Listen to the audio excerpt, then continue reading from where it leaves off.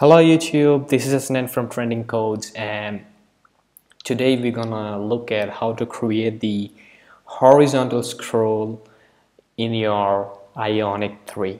So uh, first of all, uh, we have the option or we have the tag which is called as ion scroll and if we'll set the attribute uh, that is scroll x to true we can do that but uh, setting that true won't work. We should add some additional uh, CSS or styles to that and then we can uh, make that working.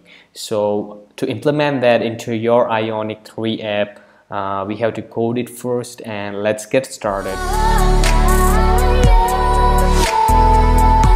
So first of all uh, we're going to create um, I guess we, we're going to create first the ion scroll.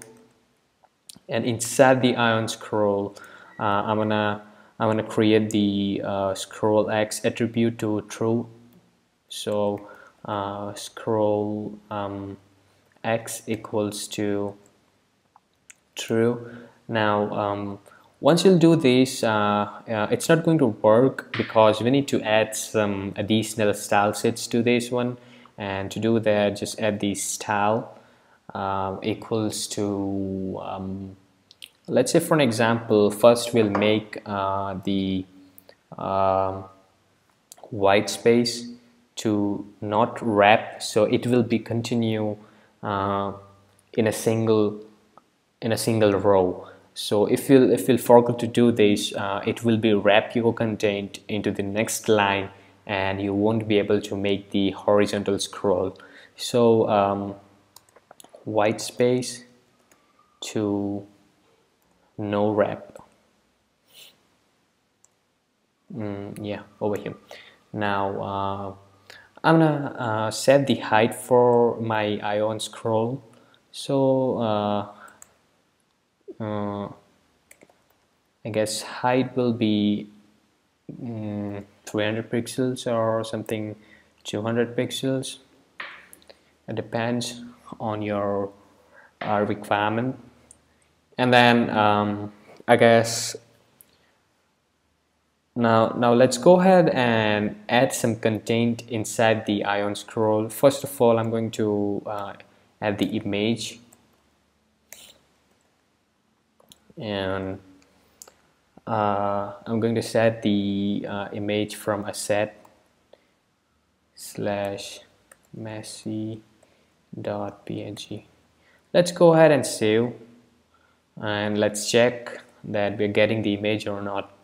Okay so here we got the image but uh, let's increase the height and just set to 300 I'm sorry 300 pixels and I hope it's gonna work for uh, I, I, need to make my image to be fully uh, visible on the screen so I can just uh, make it look better. Okay here we go. Now let's go ahead and just copy and paste the same image and let's see that our horizontal scroll is working or not. So I have uh, added four more images. Now the image are same. Uh, here I just want to demonstrate how to create a horizontal scroll. So I'm just copy and pasting the same content to make you people so that we can create the horizontal scroll right over here. So you can see there we have created the horizontal scroll in a easiest way. I was looking around the internet how to create or how to make that possible to scroll horizontally and I was getting the big big code but I worked on it and I got the one single uh, element or the one single style which is white space should not be wrap if you set this white space no wrap your horizontal scroll is gonna work easily. Now if you want you can add more styles to this. I'm not going to add more styles to this. I'm just going to demonstrate and I'll just show you how to create the horizontal scroll but if, if you want you can add more styles. And as you guys remember in my last tutorial I have created the football card. And in that uh, you can implement this.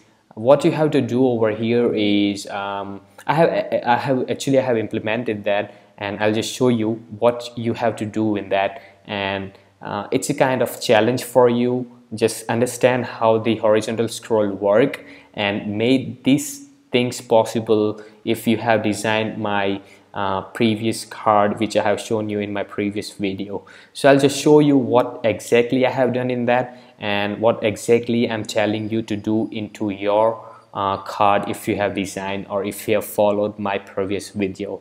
So I'll just show you. Uh, I'll just go to the uh, I'll just go and change the home page okay so this is what I'm telling you to implement into your app. If you have designed my previous video or if you have seen my previous video in my previous video I have just shown you how to design this particular card. And uh, I have just implemented a single card but with the help of horizontal scroll what I have done over here is if you want you can display all the players of a particular team and with the help of this beautiful horizontal scroll we can display all these player available in a one particular team with their jersey number and their name. I have just copy and pasted the same code to demonstrate over here but what you can do over here is you can create one array and inside the array you can just uh, store the image part and the name of the uh, player and the jersey number of the player. And with the help of ngFor you can just do that in a simplest way okay? So uh, it's a kind of task for you people. I hope you'll implement this and you'll make a beautiful card and you'll make a beautiful design for uh, for for your uh, betterment you know if you'll keep practicing all this stuff you'll you'll be you'll be uh, putting the hands on the css and you'll be better with the designing st stuff and all those things. So when you when you'll work on the real project you'll be feeling so easy to design all those stuff.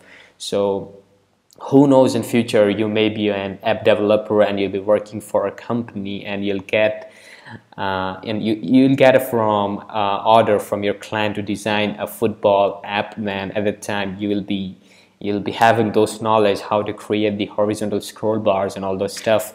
So you can just implement that and put your hands onto the css and styling stuff. So it will be more uh, more and more helpful to you. So it's a kind of challenge for you. I hope you'll implement and let me know uh, by just mailing me your app or uh, mailing me your uh, good designs so that I can also implement your designs and we can communicate and we can uh, we can just make it more um, nicer way or make it more beautiful. So uh, one more thing is if you have designed something else if you have uh, if you have made some beautiful apps you can just contact me uh, via my email or Facebook or Instagram and let me know what you have created the beautiful things and uh, if possible we'll work together on that so that I can also learn new things from you people and I can gain more knowledge from you people too.